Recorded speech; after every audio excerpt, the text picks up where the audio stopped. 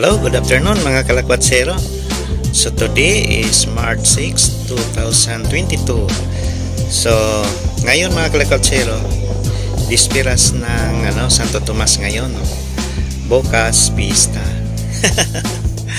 so ngayon gagala tayo mga kalakwatsero. So sayang kaninang umaga may parade pala dito. Mas Mahaguyog Festival. Kaso lang, tulog pa ako noon eh. Pagod kasi kahapon, magpunta tayo ng Santa Rosa.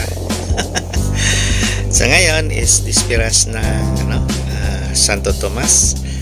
So yan, gagala lang tayo mga kalakwatsero dito sa may Santo Tomas City, Batangas.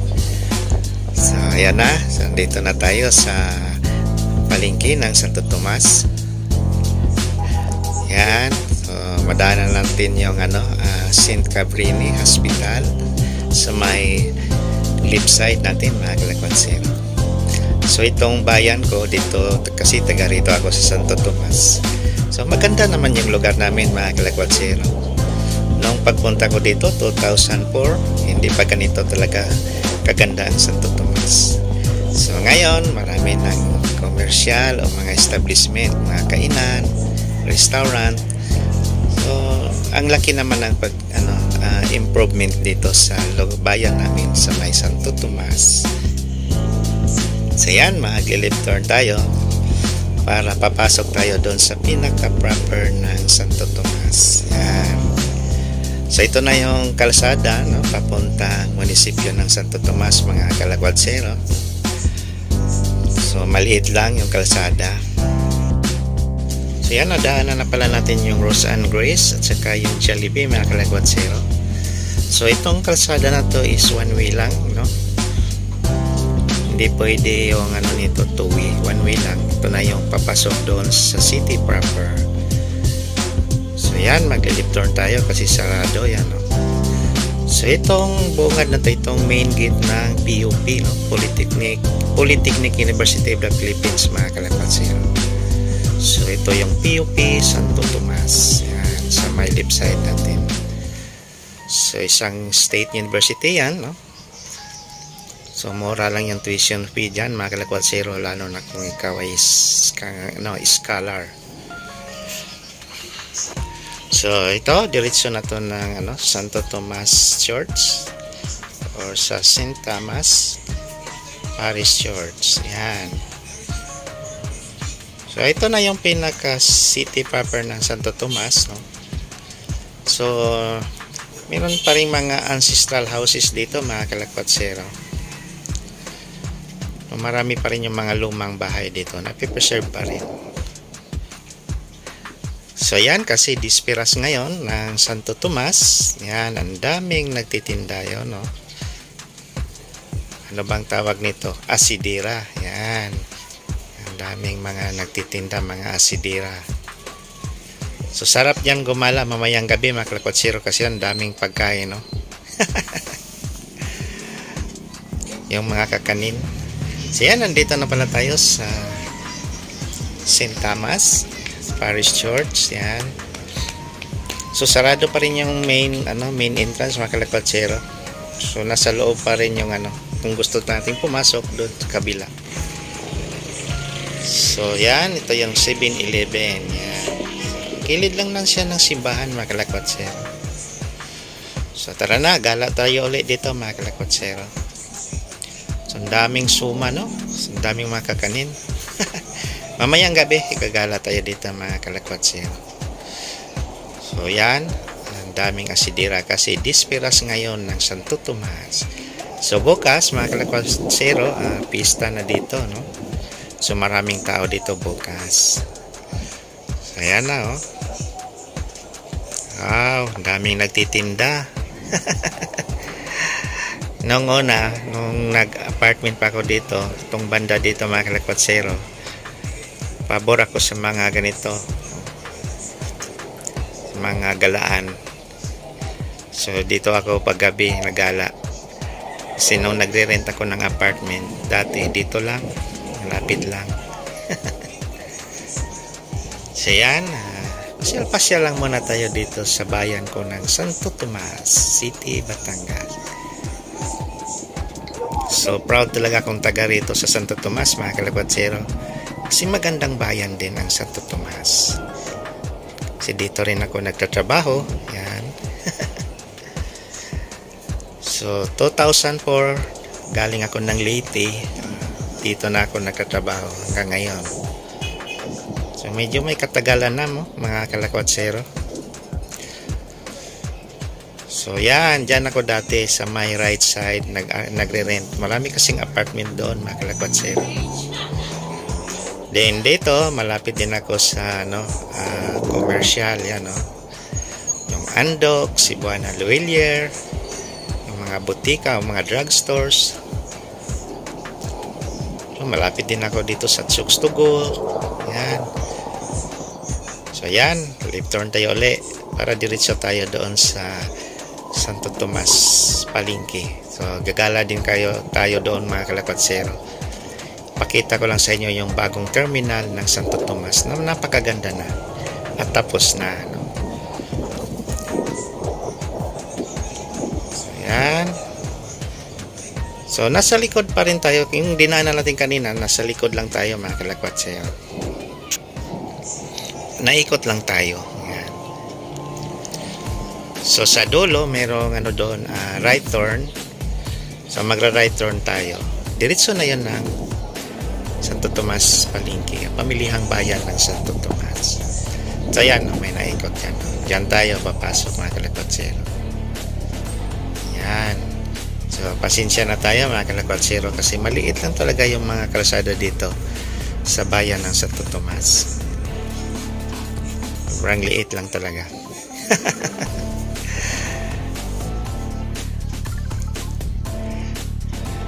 So, nasa likod pa rin tayo ng POP. Yan. Then, sa right side, yan yung ano, uh, basketball gym ng Santo Tomas. So, cute lang yung ano, basketball gym nila. So, ayan na. Uh,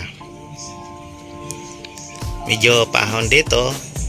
So, yun.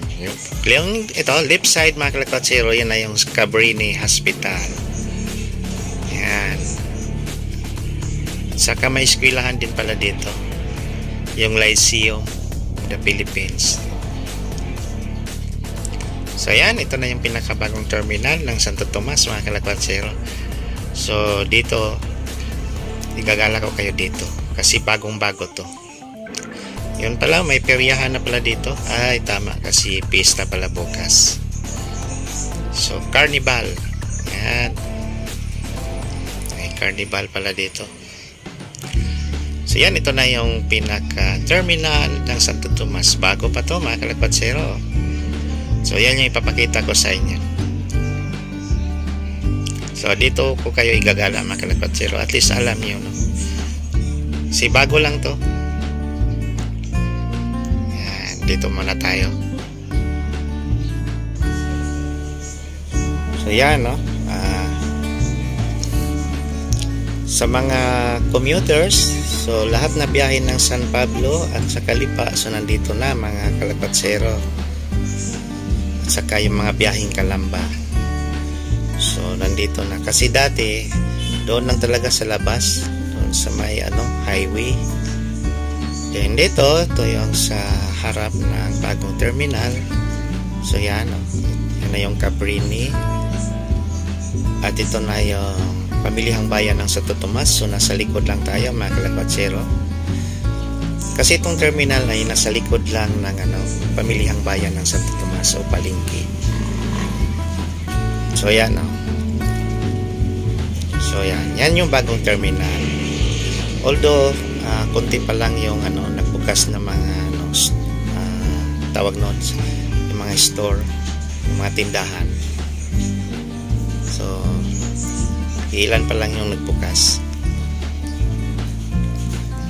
So sa lahat ng mga commuters going to San Pablo, Calamba, Lipa so dito ang sakayan mga kalakonsero so yan mga van o mga bihar alabang, pamuntang alabang may tagaytay pa lang dito oh. uh, ano pa tong iba? Tingnan natin Yan, Batangas Pier, Limiri. Meron na pala din dito, Cubao. So marami palang biyahe dito mga kalakwatsero.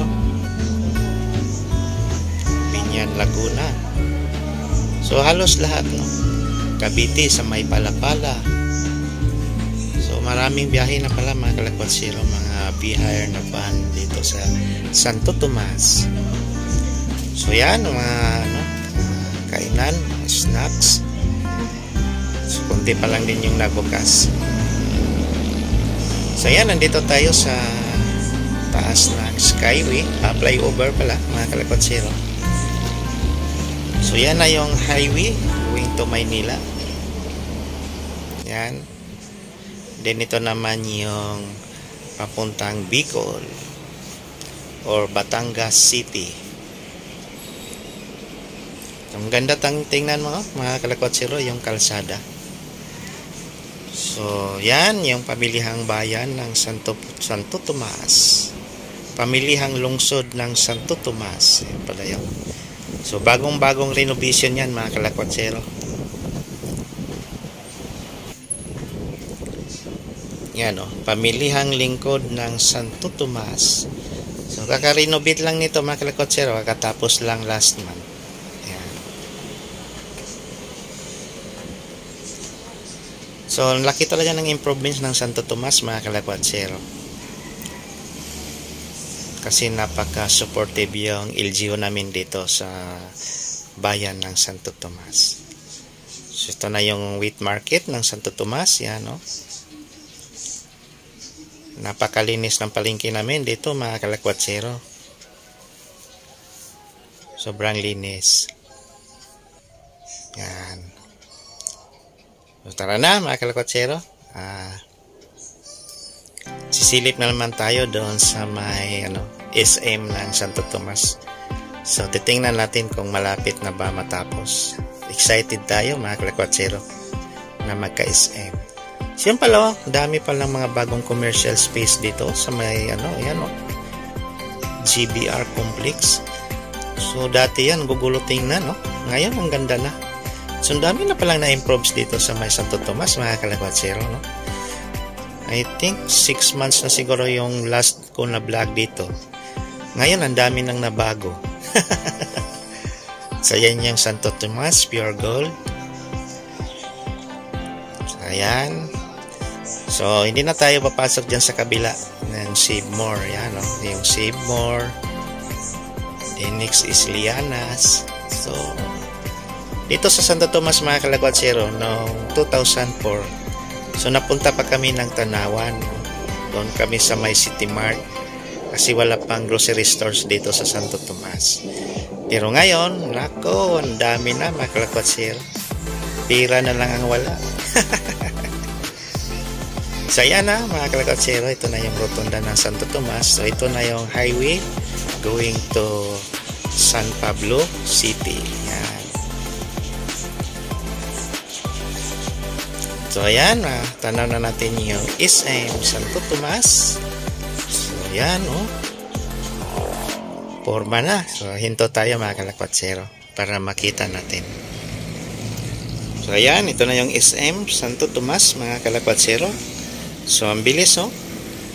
Siguro within this year, no, matapos na tong, ano, tong SM Mall. So, second floor lang pala siya. So, ang bilis. Excited!